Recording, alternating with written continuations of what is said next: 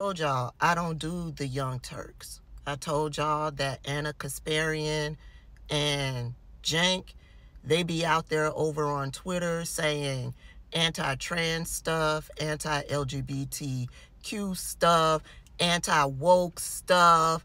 I, I, I don't do the Young Turks. And now my brother has caught an article exposing Ana Kasparian. They will always let you down. You give them enough of an inch, and they will always let you down.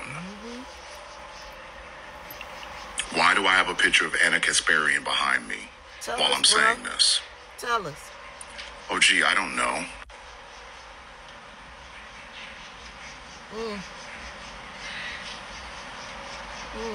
Progressive journalist unleashes on liberal intolerance. Intolerance. Intolerance. That drove her away from the Democratic Party. That woke me up. Ana Kasparian said about being lectured by liberals after getting sexually assaulted in 2022. Now, first and foremost, before I begin, no woman deserves to be essayed. Facts. No woman.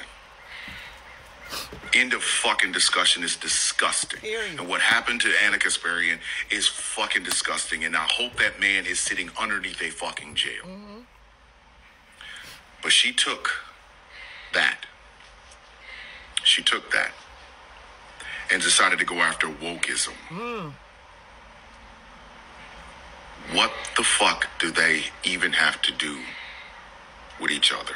Like, what Nothing. what do they have to do with each other? Nothing. Young Turks ho- co-host Ana Kasparian explained what drove her to ditch the Democratic Party while on Jillian Michaels' Keeping It Real podcast on Monday.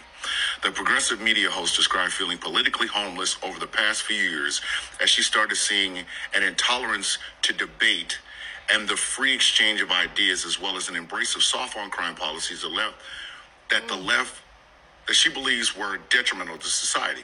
She ripped efforts to demonize and even dehumanize the other side while admitting that she used to be the person who believed you could not be friends with conservatives or someone who supported former President Donald Trump. Both women said they identify with disaffected Democrats who now feel unwelcome in their former party. Let me start with the obvious. I hope the man that did this to Ana Kasparian is sitting in the deepest jail known to mankind. That man is exactly why a lot of women choose the bear. 100 fucking percent. 100 percent. And once again, it shows how women's body autonomy is not really respected in this country. Mm-hmm. It isn't. Mm-hmm. A lot of men believe like they are, it, they they should be able to take what they want from a woman, and that's bullshit. Mm-hmm. Body autonomy is one of the things that I fucking believe in, completely. So what happened to Ana Kasparian is a tragedy, and I hope the man is that did this is sitting in prison for the rest of his natural goddamn life. With that being said, Ana, why should we intolerate intolerance?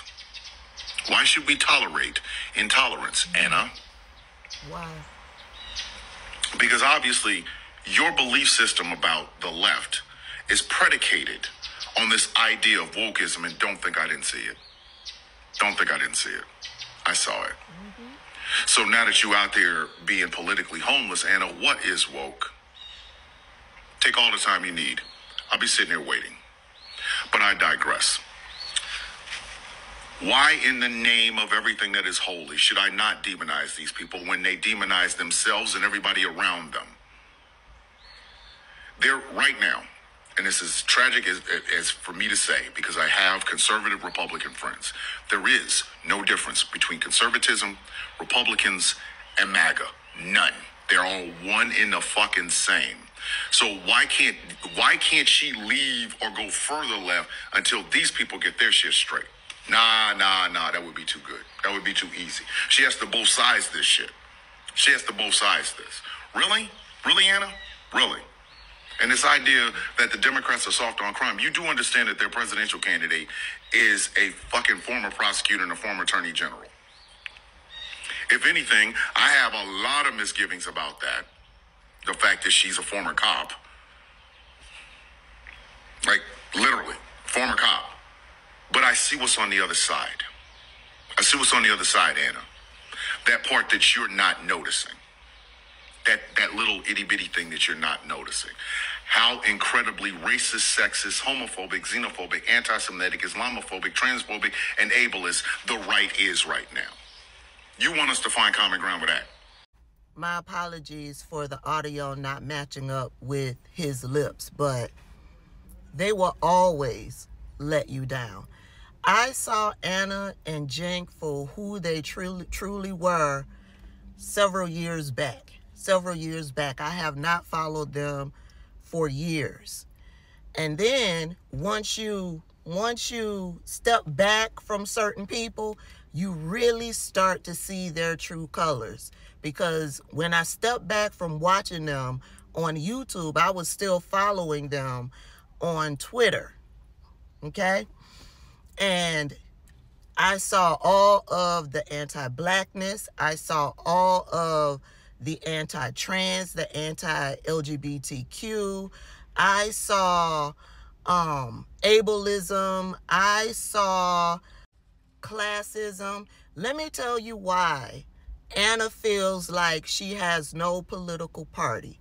Ana wants to be free to spread microaggressions. She wants to be free, to be anti trans and anti LGBTQ, anti black. She wants to be free to do all of that and not be called out on it. She did an interview with some guy, I don't know who the guy was, but she did an interview with some guy and she mentioned in that interview that she don't want to be around black people because she always feels like she's going to say something wrong. That's why Ana feels like she doesn't belong to a political party because people in the Democratic Party and some leftists, they will call her out when she steps wrong, and she does not want to be called out. That's what Ana Kasparian's problem is, and that's on period.